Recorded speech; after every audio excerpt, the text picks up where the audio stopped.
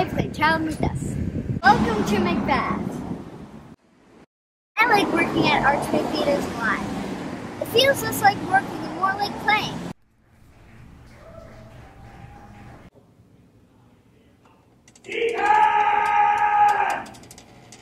I'm the only kid in the play.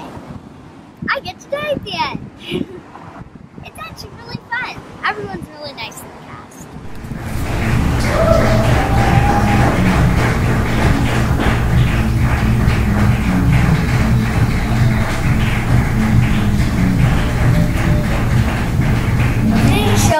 great.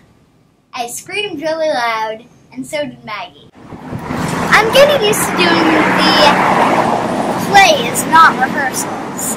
It used to feel just like another rehearsal, but now I'm really getting into doing the play over.